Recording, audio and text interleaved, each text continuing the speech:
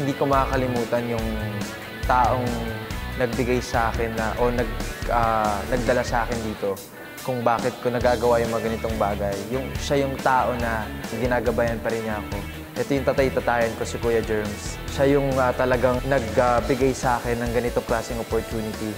At kahit na wala na siya, alam ko na kinagabayan pa rin niya ako.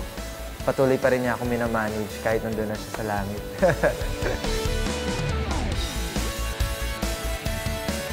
Dami.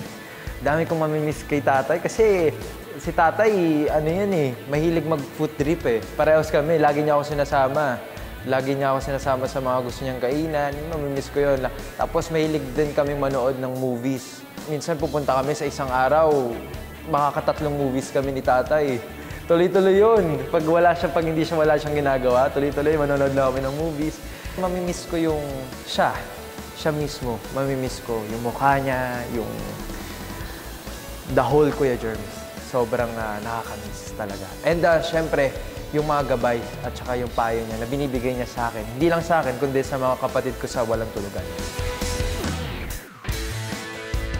Ang favorite movie ko ay Bucket List. Yan. Sobrang uh, favorite ko yan. Um, gusto ko din yung uh, Pursuit of Happiness. Yung naging first na indie film ko, yung first ko si third sa Cinemalaya. Sobrang gusto ko yung movie na yun. At uh, buti na lang, isa ako dun sa mga cast at uh, napasama ako dun sa ganong klaseng ganda ng movie.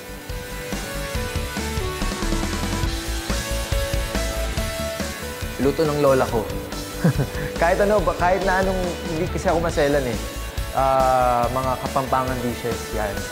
Favorite yan. Wala ngayon, wala akong love life ngayon. Focus ako sa karir ko and sa family ko at sa mga sumusuporta talaga sa akin. Ah, pag nanliligaw kasi ako, yung makaluma eh. Talagang pumupunta ako sa bahay. Hindi lang siya yung nililigawan ko, pati yung buong pamilya niya. And ah, gusto ko din kasi yung babae na kakilala ko na. Hindi yung nakita ko kung sa sa bar or what.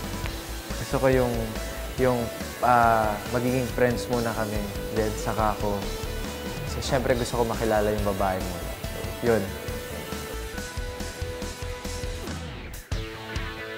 Hindi naman mataas yung standard ko pagdating sa babae. Basta alam ko lang na mahal ako, family-oriented, and ah, magaling magluto. Ayos sa akin yun.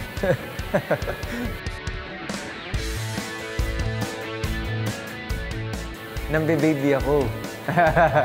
hindi. Ah, ako yung tao na hindi nananakal.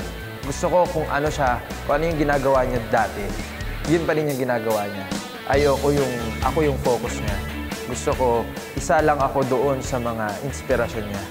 Ayoko din ng ah, yung tipong mag-asawa na hindi nakakatulong kasi yun eh. Gusto ko parang magkaibigan lang kami, pero alam namin sa isa't isa na may special.